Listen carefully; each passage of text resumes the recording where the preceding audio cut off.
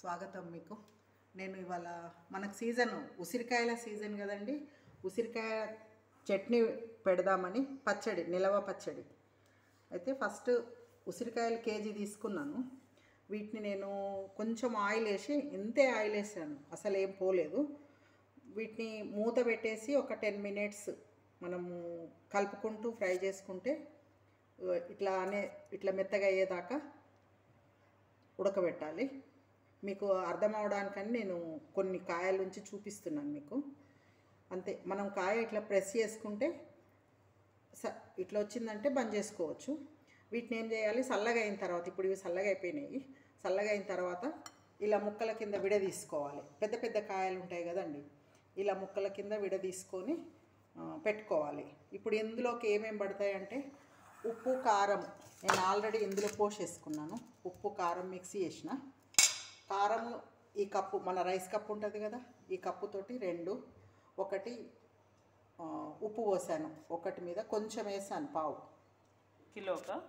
ఆ, కిలో కాయలండి ఉసిరికాయలు. వాటికి ఇందులో కొంచెము ఆవపొడి ఇంతే. ఒక ఈ స్పూన్ అనుకోండి చూడండి.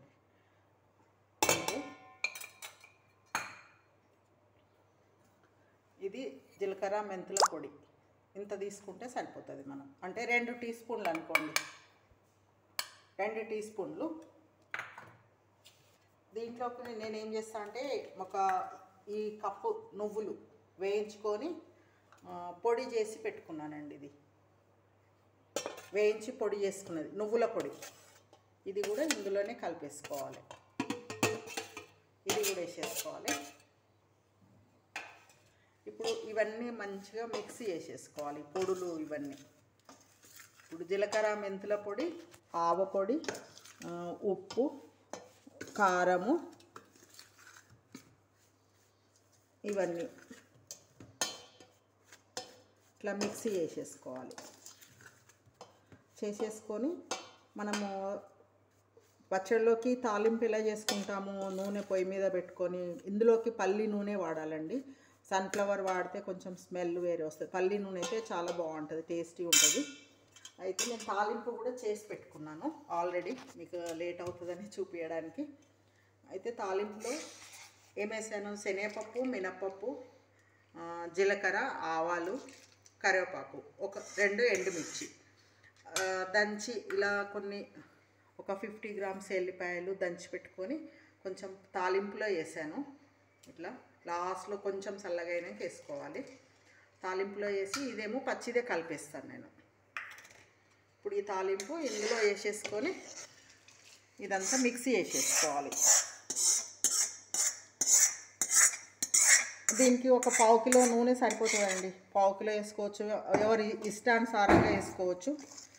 ఇది ఇట్లా మిక్సీ వేసేసుకొని ఒక కిలో ఉసిరికాయకి రెండు కప్పుల కారం ఒక కప్పు ఉప్పు. ఒకటి బావు వేసుకోవచ్చు. నిమ్మకాయ రసం వేస్తాము ఇందులో. అందుకని కొంచెం ఎక్కువ వేసుకోవాలి. ఇప్పుడు ఇలా మిక్స్ అయిపోయింది కదా ఇలా ఇట్లా కారం ఇలా ముద్దలాగా ఇట్లా అయిపోతే మనకు ఆయిల్ సరిపోయినట్టు లెక్క. ఏ చట్నీ అయినా ఇట్లా ఆయిల్ ఇట్లా వచ్చేసింది అనుకోండి మనం పొడులన్నీ మిక్స్ చేసుకున్నాక సరిపోయినట్టే లెక్క.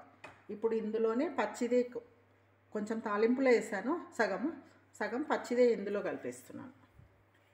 పచ్చిది కలిపితే ఏంటంటే ఎల్లిపాయ స్మెల్ బాగా వస్తుందండి మంచిగా ఉంటుంది.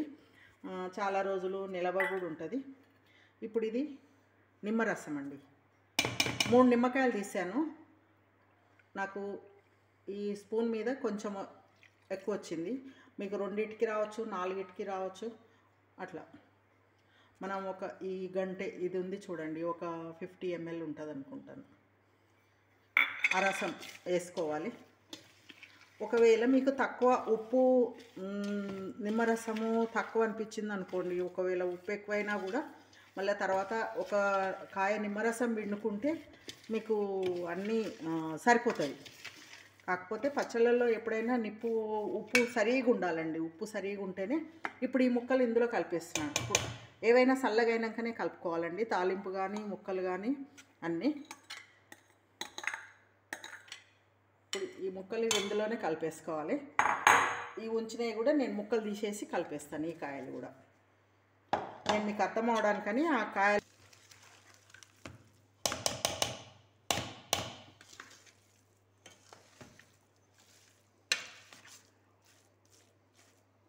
అంతేనండి ఇలా ముక్కలన్నీ కలిపేసుకొని మనము మూత పెట్టి పెట్టేసుకుంటే సాయంత్రం వరకు మీకు తినడానికి వస్తుంది ఊరిపోతుంది. మంచిగా. ఇప్పుడైతే అంత దేనికి అదే టేస్ట్ అంత బాగుండదు కానీ సాయంత్రం వరకు అయితే ఉండిపోతుంది మంచిగా ఊరుతుంది. మీకు ఇది చాలా రోజులు నిల్వ ఉంటుందండి. మనము ఎప్పుడు ఫ్రెష్గా ఉండాలనుకుంటే కొంచెం పక్క తీసి ఫ్రిడ్జ్లో పెట్టుకొని డైలీ వాడుకునేది బయట పెట్టుకోవాలి. అట్లా చాలా రోజులు నిల్వ కూడా ఉంటుంది ఇది నిల్వ పచ్చడి. హెల్త్కి కూడా చాలా మంచిది విటమిన్ సి ఉంటుంది ఇందులో బాగా. పిల్లలకు పెద్దలకు ఎవరికైనా తినొచ్చు ఎక్కువ కారం ఉండదు కాబట్టి. ఓకే అండి. మీకు ఈ వీడియో నచ్చినట్టయితే షేర్ చేయండి సబ్స్క్రైబ్ చేయండి లైక్ చేయండి. ఓకే థ్యాంక్ యూ అండి.